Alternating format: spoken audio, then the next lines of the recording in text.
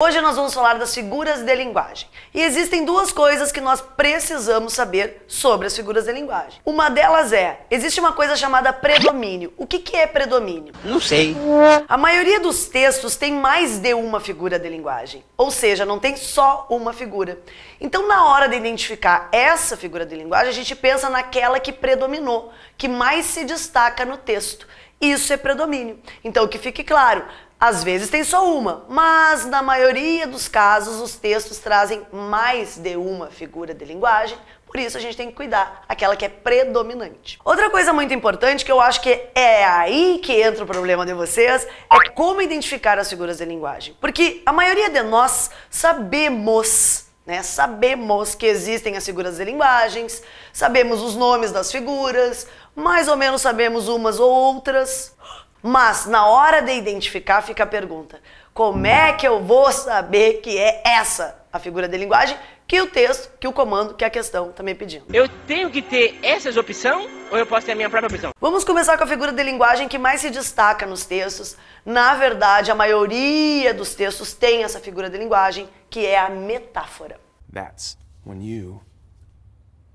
Why would I put my finger on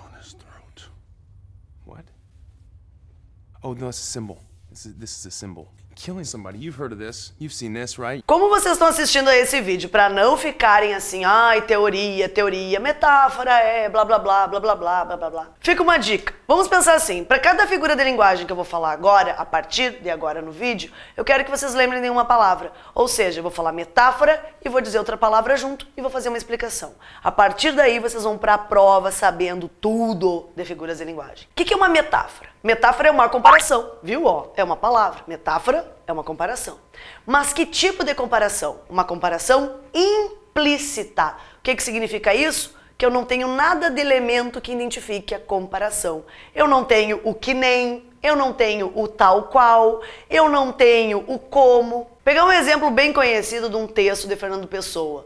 Meu pensamento é um rio subterrâneo. Meu pensamento é um rio subterrâneo. Pensamento e rio estão sendo comparados.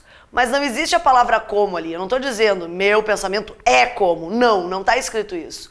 Portanto, isso é uma metáfora. Queridos, outra dica para vocês. A maioria das metáforas, eu não estou dizendo todas, a maioria das metáforas vem com o verbo ser. Ou seja, eles são o meu rumo ela é o meu anjo. Então eu tenho o é, ser, né? O verbo ser, geralmente ele vem nas metáforas, ok? Metaphor. Outra figura muito comum e parecida com a metáfora é a comparação.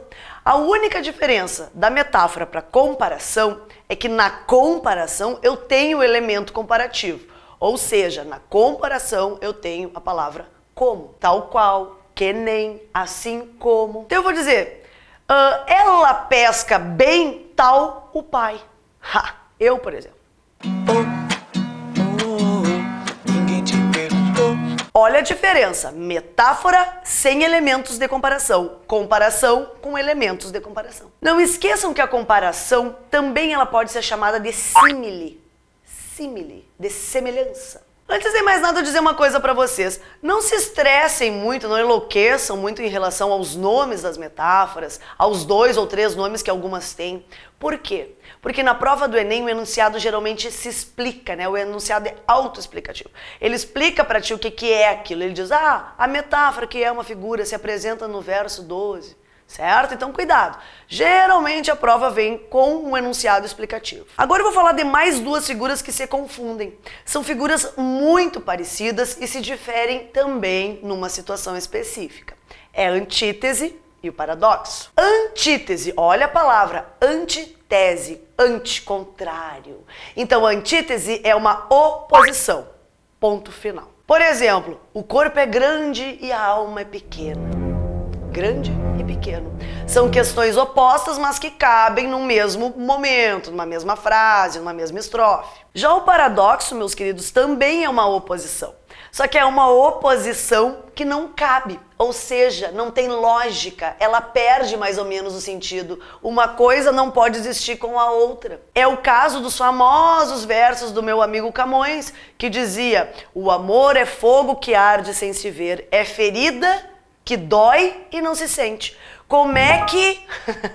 Como uma coisa vai doer e eu não vou sentir? Isso é um paradoxo. Ai, Dani, mas eu acho que é uma antítese. Queridos, uma antítese são oposições que podem existir, certo? Que elas não se anulam. O paradoxo são coisas opostas, também são oposições, mas elas se anulam. O corpo pode ser grande e a alma pequena? Pode. Isso é antítese. Ferida que dói e não se sente. Pode doer e eu não sentir? Não, não pode, não tem lógica. Isso é o paradoxo. Vocês também têm sede quando escovam os dentes? Será que pasta de dente tem sal? Deve ter, né? Por causa do. do, do... Insanidade temporária. Sódio não é sal, né? Não é porque a gente fez uma reportagem na. Reportagem, virei repórter. Virei repórter. Carbonacolopla. Causada pela Meus queridos, agora mais algumas figuras de linguagem. Tem uma figura de linguagem que eu especialmente acho que ela é muito fácil de ser confundida. Então vamos lá e não vamos nos confundir na hora da prova. Estou falando da metonímia. Ah, que nome horroroso. Dani. Não, nome bonitinho. A metonímia é uma figura de substituição. Eu substituo uma palavra por outra. Ponto final. Anotem aí. É uma figura de substituição. Por exemplo, o que, que é essa substituição, Dani? Como é que eu identifico a metonímia? Existe uma metonímia bem famosa que nós todos conhecemos. Quando nós falamos assim, o homem foi à lua. O homem foi à lua. Mas quando eu digo o homem foi à lua, foram todos os homens à lua? O Vasco foi para a lua? Imagina a gravidade toda.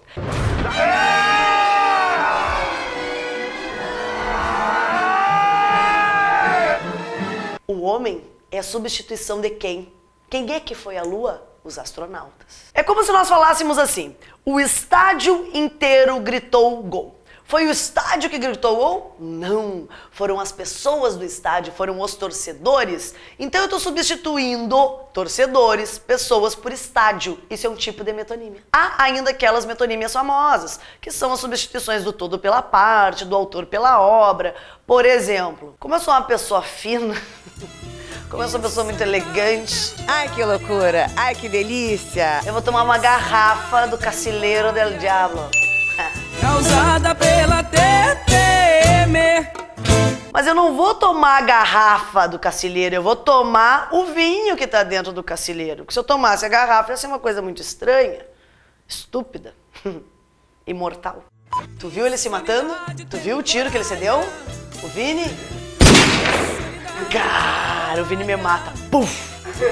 Gente, cara, adorei aquela. Pode ter matado. Eu queria que me mata, me mata um dia também. Vai me matar. Vou me matar. Puf.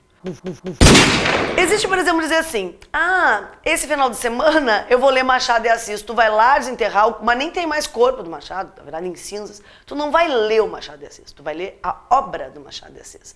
Isso são tipos de metonímia também. E há um nomezinho bem feio, que é um tipo de metonímia, que é a catacrese. é, esse é o nome mesmo, catacrese. A catacrese a gente usa, né, quando não há palavra que se encontre para falar de alguma coisa. Por exemplo, quando eu digo assim: "Ah, vamos correndo, senão nós vamos perder o ônibus, está na hora de embarcar". Eu vou embarcar no ônibus. Não existe outra palavra para isso. Mas embarcar não é para ônibus, é para navio. Nem para navio, né? Senão eu vou enaviar. É para barco, né? Para embarcações.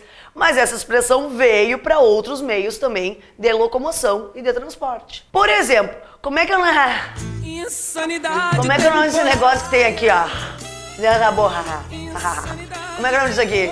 Ah, tu falou céu da boca, não falou? Céu da boca. Mas é o nome disso aqui é palato duro.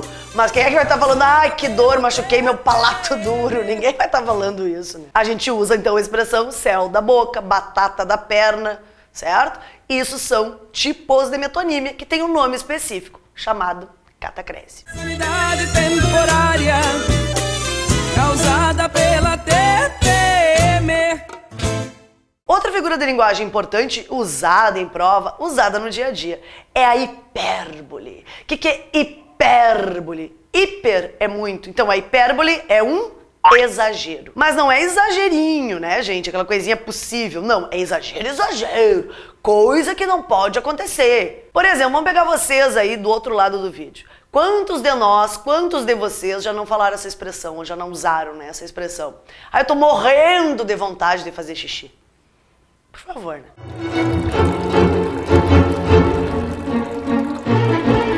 Olha, morrer de vontade de fazer xixi só se der um treco, sei lá, que Deus o livre, bater na madeira aqui.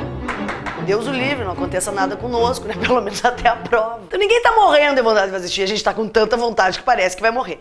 Isso é uma hipérbole certo? Mas as hipérboles são exageros literários. E esses exageros são, de certa forma, bonitos, né? Eles chamam a atenção e servem para isso mesmo. Se nós pegarmos, por exemplo, um verso famoso do grande poeta parnasiano Olavo Bilac: Rios te correrão dos olhos se chorares. Olha, rios te correrão dos olhos. É um exagero. E demais. Se pegarem lá no Dom Casmurro, do Machado de Assis, tem uma cena em que o Bentinho fala: se fossem contadas todas as lágrimas desde Adão e Eva, não somariam as lágrimas que ele derramou pela Capitu. Isso é exagero, coisas impossíveis, exageradas, mas tem o sentido de ênfase e é um sentido bem importante para a prova. Outra figura mega, ultra, hiper importante é a sinestesia. Meus queridos, sinestesia, tesia, tem aquele sentido de sentir. Daí a palavra anestesia, sem sentir. E sinestesia é uma mistura dos sentidos. Quais os sentidos? Os cinco sentidos que nós temos. Claro que vocês devem estar pensando, ai Dani, e cadê o sexto sentido? I see dead people. Ao seu sentido aí fica difícil, né, gente? Cada um aí querer no seu né, sexto, sétimo, oitavo, sei lá. Qual o sentido que vocês quiserem. Mas o que interessa é que nós temos cinco. Esse eu tenho certeza que nós temos. O tato, o olfato, a audição, o paladar e, graças a Deus, e é por isso que eu tô aqui, vocês aí, a visão. Quando esses sentidos se misturam, eu chamo de sinestesia. Ah, Dani, difícil. Não, é bem fácil. Quer ver uma coisa? No dia a dia, no dia a dia, no cotidiano, quantos de nós já não falamos assim? Ah, olha esse cheiro. Olha, olhar o cheiro. Tem cabimento isso? Quem é que vai olhar o cheiro? Tu vai sentir o cheiro. Olhar é visão, cheiro é o olfato. São dois sentidos misturados. Um exemplo literário para vocês. No silêncio escuro do seu quarto ela dormia. No silêncio escuro. Silêncio audição, escuro visão. Então aí nós temos a sinestesia. O cheiro áspero das flores. O cheiro áspero. Áspero é o tato, o cheiro é o olfato. Eu estou misturando os sentidos. Isto é sinestesia. Mais uma figura de linguagem para vocês, o eufemismo, que é exatamente o contrário da hipérbole. Se a hipérbole é um exagero, o eufemismo é uma amenização. Eu vou diminuir o impacto da ideia que eu quero falar. Por exemplo, é muito mais impactante eu falar: o Vasco morreu. Começa a matar tudo esses guris nos meus vídeos agora. O que seria mais amenizador da ideia impactante da morte? O Vasco agora está com a sua alma junto ao Senhor. Isso é um eufemismo. Pode matar o Vasco, viu? Vini não é psicopata, né? Ele não vai matar, né? Imagina.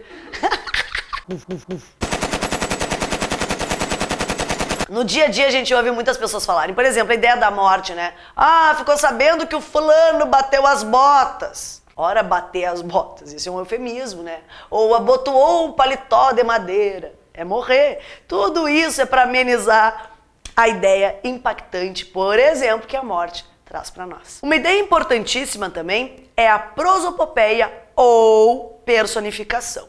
Ela pode vir com esses dois nomes, geralmente o Enem traz para vocês os dois nomes, não precisam se preocupar com isso. Agora tem que saber identificar. Queridos, prosopopeia ou personificação é o quê? A prosopopeia ou personificação é justamente quando eu dou uma característica para um ser e essa característica não é dele. É uma característica de um ser em outro ser. Vocês conhecem uma música do Lulu Santos? Aquela coisa louca, esquisita. Eu não gosto muito do Lulu Santos, mas ele tem uma música que tem uma prosopopeia bem famosa. Vocês lembram aquela música? Garota, eu vou pra Califórnia, beber a vida sobre as ondas.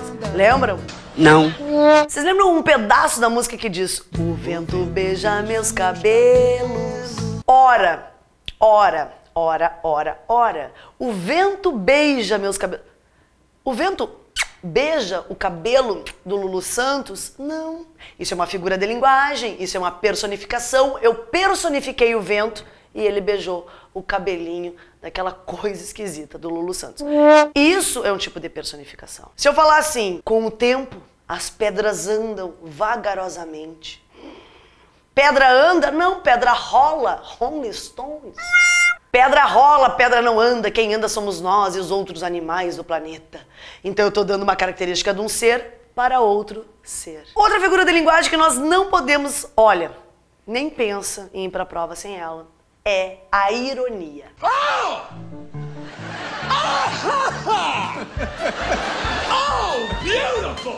A ironia é importantíssima, já que o que, que acontece quando nós temos ironia? Nós temos um deboche, um sarcasmo.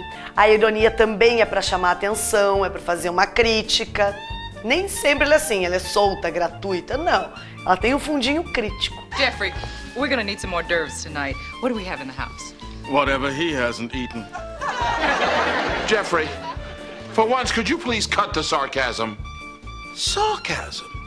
Whatever do you mean? Vamos pensar numa ironia famosa. Nosso amigo lá do modernismo, Mário de Andrade, tem um poema que diz assim: Moça linda, bem tratada, três séculos de família, burra como uma porta, um amor. Lá tem uma crítica à burguesia da época, assiste a nossa aula de modernismo da primeira geração.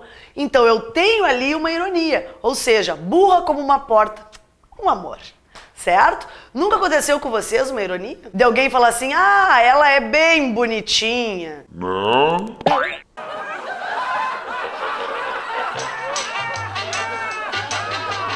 Ou se alguém faz aí uma burrada, senta no patê, pisa na jaca. Ah, muito esperto. Esse muito esperto é uma ironia em relação à ação da pessoa. Tem outra figura que já apareceu em prova, bem conhecida de vocês como função sintática, é apóstrofe. Apóstrofe, meus queridos, é a mesma coisa que o vocativo da língua portuguesa. Só que no estilo, na estilística, na figura de linguagem, eu chamo de apóstrofe. Apóstrofe é um chamamento. É uma invocação. E é lógico que nós temos inúmeros exemplos para dar. O exemplo mais famoso, talvez vocês lá no dia da prova. Pai nosso que estais no céu, santificado seja o vosso nome. Ave Maria, cheia de graça, rezando na prova lá para passar. Isso é um chamado, isso é apóstrofe. O grande rei das apóstrofes na literatura é meu amigo Castro Alves, o senhor, o grande senhor Castro Alves. Tá lá o poeta dos escravos, em Vozes da África e Navio Negreiro, Senhor Deus dos desgraçados, onde está, Senhor, ó Deus?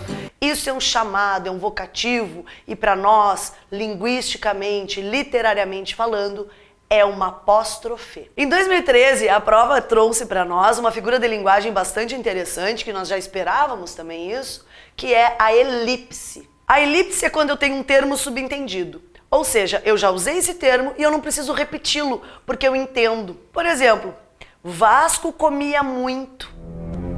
Ponto. Fazia pouco exercício. Ponto. O comia muito e fazia pouco exercício, as duas orações se referem ao Vasco. Então vou falar assim, ó, Vasco comia muito, ponto. Fazia pouco exercício. Quem é que fazia pouco exercício? O Vasco. Só que eu não preciso repetir a palavra Vasco. Então eu chamo isso aí de elipse. Eu subentendi esse termo, eu suprimi esse termo, porque não tem nenhum motivo para ele estar tá lá. Ou seja, ia ser só uma repetição.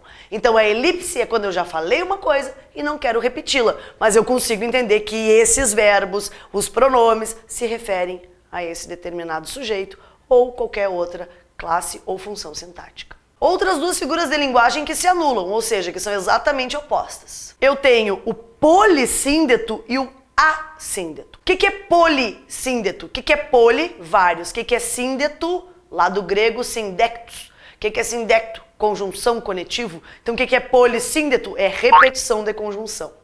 Geralmente, eu repito a conjunção e e a conjunção nem, que são conjunções, na maioria das vezes, aditivas. O exemplo famoso de polissíndeto é o caso do Olavo Bilac. Como Olavo Bilac parnasiano gostava de polissíndeto. E lima, e torce, alteia e engasta a rima. Nesse verso, por exemplo, de profissão de fé, e, e, e, e. É. Essa repetição dos es da palavra e, da conjunção e, do conectivo e, é polissíndeto, repetição. Em contrapartida, eu tenho o assíndeto. A é negação, então é sem síndeto, sem conectivo. E daí vem a famosa questão da pontuação, que é o uso de vírgula, já que eu não tenho conectivo para fazer a ligação. Pode ser vírgula, pode ser um ponto final. Na maioria dos casos eu uso de vírgula. Então eu vou ligar as orações, os verbos, enfim, eu vou ligar através de vírgula ou por ponto final, mas a ideia que está no meio é de uma conjunção que não aparece. A famosa frase daquele grande imperador, meu parente, meu tataravô Júlio César. Ah, assiste a aula lá, Dani, e parece que é parente do Júlio César, aquele de Roma. Tu imagina, imagina. Pela TPM. A frase famosa então lá do meu parente, do meu contraparente, tá? Vim, vi, venci. Hum. Nesse período, ó, vim, vi, venci, Parece que tem né, um Ezinho, ó, vim, vi e venci, mas não tem. Se não tem, subentende-se, mas não tem, não tá ali, é assíndeto, sem a conjunção. Eu ligo essas orações, né, vim, vi, venci, sem a questão do conectivo. Meus queridões, como diz meu amigo Vasco, olha só, existe também uma figura da linguagem essa, gente, é a figura do dia a dia. O pessoal faz errado, não adianta, o pessoal não quer nem saber, o povo quer errar mesmo, né? Pleonasmo. Gente fina, olha só, pleonasmo tem dois tipos de pleonasmo. Né? Há dois tipos de pleonasmo. O pleonasmo vicioso, é aquele totalmente errado, Deus o livre, não pode de forma alguma. E o pleonasmo enfático, ou seja, que eu uso para enfatizar. E ele é permitido sim. Então, por exemplo, se eu falar assim, ó, aos pais, vírgula, não lhes obedecemos. Quando eu digo não lhes obedecemos, não obedecemos a quem? Aos pais. E o lhes também está repetindo aos pais. Isso é uma repetição, é um objeto indireto pleonástico. É uma repetição, mas é para dar ênfase. Num exemplo literário do grande sucesso maravilhoso Vinícius de Moraes, lá no soneto famoso dele, ele diz: ir rir meu riso e derramar meu pranto. É um pleonasmo também enfático, literário, mas há aqueles pleonasmos que são os viciosos, e Deus o livre esses pleonasmos na nossa vida. Por exemplo, duas pessoas fazem uma fofoca.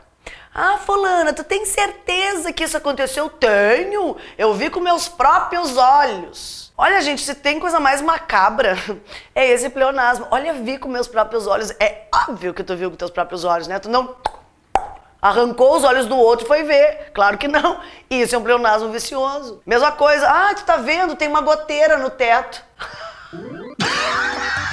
goteira no teto. Só pode ser no teto. Eu me dou bem com esse pessoal do Mundo Edu porque a gente tem um elo de ligação. Mentira! Olha elo de ligação, querido, se é um elo, já é de ligação. Um elo é uma ligação. Isso são pleonasmos viciosos, viciosos, viciosos. Não precisa subir para cima, descer para baixo, tá? Então que fique claro, não é que todo pleonasmo não possa existir. Existem os enfáticos e existem aqueles que são os pleonasmos viciosos. A outra figura de linguagem que já apareceu em prova e pode aparecer mais uma vez, que é a conhecidíssima anáfora. Meus queridos, anáfora é uma figura de repetição. Anotem aí. Anáfora sempre é uma repetição e sempre, sempre repetição no início de versos ou períodos ou frases, enfim. Sempre que eu repetir ou uma palavra, ou uma expressão, ou um termo, certo? Isso se chama anáfora. Pegaremos como exemplo o grande Carlos Drummond de Andrade, num poema José. Lembra? E agora, José? Lá em determinado momento do poema vocês têm a seguinte anáfora. E se você gritasse, e se você gemesse, e se você tocasse a valsa vienense, e se você, e se você, e se você, e se você. Essa repetição se chama anáfora. Outra figura de linguagem que eu tenho que abrir o meu olho, que eu confundo às vezes, é o hipérbato. Hum, que nome feio. É, não é a coisa mais bonita do mundo. Mas hipérbato põe na tua cabeça. É uma figura de inversão. Eu invirto. Tô brincando. Eu inverto os termos de uma oração propositalmente, né? Ou para chamar atenção, para fazer um recurso com mais elaboração. Mas hipérbato é inversão. Por exemplo, dos meus problemas. Por exemplo, por exemplo, Por exemplo, por exemplo. Insanidade temporária.